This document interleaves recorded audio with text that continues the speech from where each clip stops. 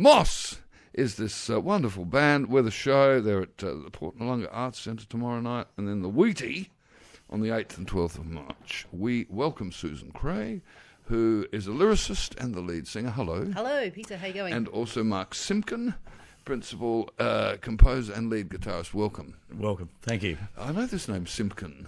Uh, Oh, do you? Yeah, yeah. It wasn't on a poster on a wall anywhere. what sort of music is it? Um, they call it Heartland Rock. So, yeah, Heartland Rock. is- What's that? well, uh, it's typically music that's characterised by you know its conviction for, uh, to to tell stories about Yeah. social issues. Social and political issues within the community.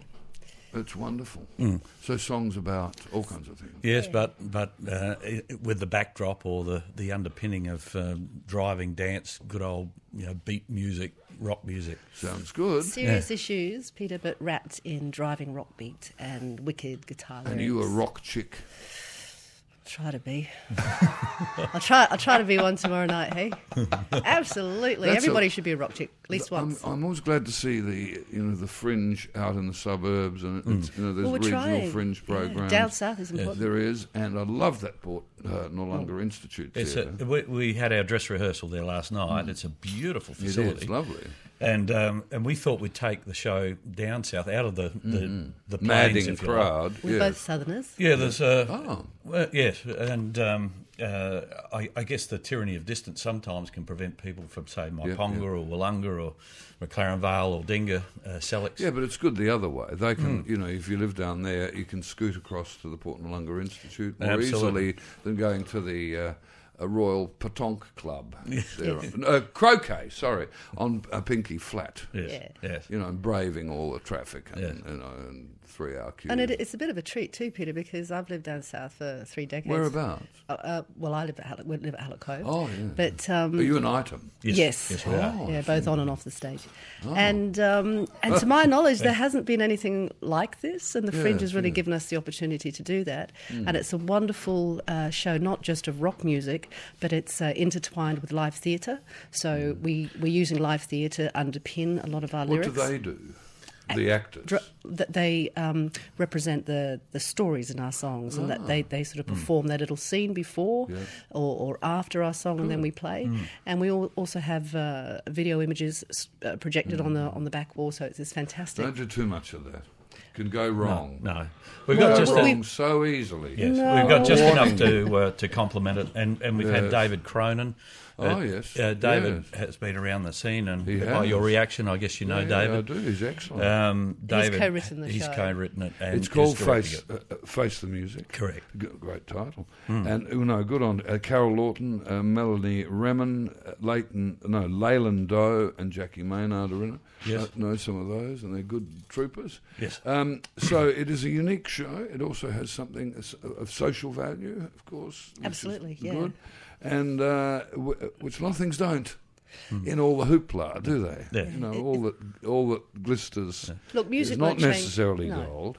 Music won't change the, change the world overnight I mean John Lennon tried it with his Imagine but um, Bob you know you, Dylan's given it a. You we know, pretty everybody good has to give it shot. a go and i think um, you know some of our songs have resonated we've sort of um, experienced that firsthand when we wrote a song about transgender and we had people in the audience respond so um, it is terrific that we can actually um, connect i guess and um, make somebody's life a bit happier I wish you well with it. Thank you Thank very you much. very much. And Moss and it's Face the Music, Port Noarlunga Arts Centre Yes. tomorrow night, Just- and then the Wheatie 8th and 12th of March. And and just quickly for the listeners, uh, Peter, tickets. There has been some perception down south that you've got to drive to town to get your tickets. Oh. They don't, uh, as as we've picked up.